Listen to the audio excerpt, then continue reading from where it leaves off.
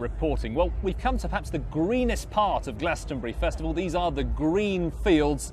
And we find a Green MEP here, that's Molly Scott Cato, and Sir Dave King as well. Now, Dave, you were Chief Scientific Advisor under the governments of Blair and Brown and a Climate Change Advisor, Climate Change Envoy under the May and Cameron governments. Molly, you must be in your elements here. We're between a recycling biogas plant and uh, I saw someone doing a vegan bicycle powered smoothie maker.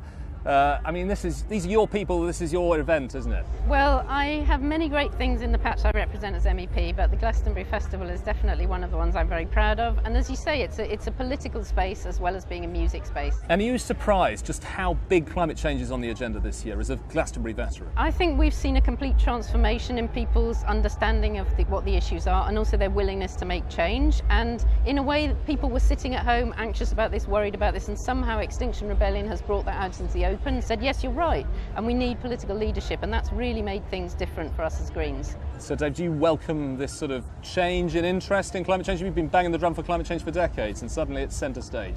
Yes, and so we, we've been here before, and then it all withered away uh, around the time of the Copenhagen COP in 2009.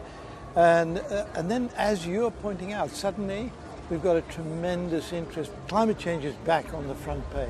Give us an insider's account, inside the corridors of power. How easy is it to get politicians to think about climate change, let alone act? It's never easy to get politicians to think about something that they're not familiar with. So the first thing that I had to do with Blair was to familiarise him with the challenges of climate change. How's it been with Theresa May and David Cameron? Now, I'm absolutely sure that both Cameron and May, during that period in government, felt that climate change was not a vote winner, right? Whereas today we have Theresa May saying net zero emissions by 2050, climate change has become a vote winner again. Do you welcome? Of course, of course. I mean, that's I mean, quite a big announcement for the government to make, isn't it? It's quite a big announcement for the government to make, but, but why did it take so long would be my question. And secondly, why did they water it down by saying net zero emissions by 2050, uh, but we're allowed to count emissions that are reduced elsewhere in the world due to British money going there. So I, I think uh, it's a pity that it's emerged quite as it has. But I really strongly welcome it. The idea of net zero emissions is now embedded not only in the British government, other governments are also talking about it. Molly Scott Cato, I know you're a Green, but do you acknowledge for a Conservative government that was a big step in progress on the climate change agenda, wasn't it? Well, I'm afraid that words are cheap and I'm waiting to see the action. So you can say net zero carbon by 2050, but what's the point of that if you're supporting Heathrow expansion, if you're not investing properly in public transport, if you're making it harder for people to do the things they need to do to, to address this really emergency situation we're in? But let's take the Extinction Rebellion cause, which is net zero by 2025. I mean, that's just six years away. So, Dave, crunch the numbers on that. Is that even possible? Well, my view is it's, it's a wonderful aspiration and it would be terrific if we could do it. But no, I'm afraid I don't think it's possible. I do think that we will, in order to get to net zero emissions as a country without counting offsets overseas, we will need to plant two to four billion trees. Two to four billion trees? Yes. That's huge. And isn't that the problem, Molly? I mean, you know, you're 2030 for the Greens. Yeah, exactly. I mean, it's pie in the sky stuff. Well, I think that we need to really look seriously at recapturing carbon. The, the science is very clear on that. We, we put out so much carbon dioxide now, we need to change the way we use land. How doomed are we? I think we're in a very difficult place, but uh, I'm going to turn that question around and say, can we manage to deal with the climate change challenge? I answer that by saying what we do on this whole planet, we human beings, over the next 10 years, what we continue doing and what we start doing will determine the future of humanity for the next 10,000 years.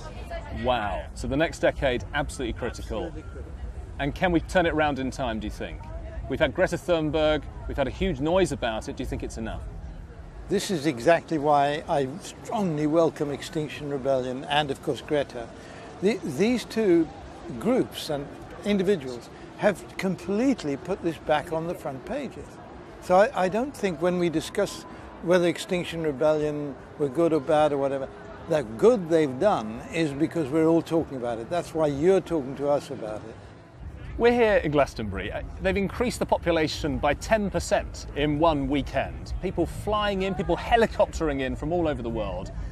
How green is this festival? Well, I know Emily Eavis is very focused on making it as green as she can, but obviously there is an energy impact to doing this. But if people are coming here rather than flying to the Caribbean, then clearly that's better. But should we even be here, Molly? If, uh, if we're meant to holiday local and keep local, well, obviously we, on this we are massive scale we, ho- we are anymore? holidaying locally, but I think if we look back at human history, people love coming together. They share ideas, they share opportunities. You know, they have that social time. There's nothing new about that. It's a bit like a medieval fair, but on a larger scale. But I, I totally agree with you. I mean, you know, I, I don't fly, and I don't think very many people have come here by plane. It'd be interesting to see the. I mean, Van Morrison's obviously an exception there, but we, we allow him. But no, I think there is a lot of focus here on reducing waste and also reducing energy use. And the political opportunities from this festival are amazing because people come here for the music, but they always leave with a different kind of consciousness. Will you find time to see some music, Molly, while you're here? Is there an act you want to see? Are you a Um, Kylie fan? I'm hoping I can get some Latin music and maybe even do a bit of dancing. A bit of dancing. What about you, Sir Dave? I, I think what, is very important to, in answer to your question about Glastonbury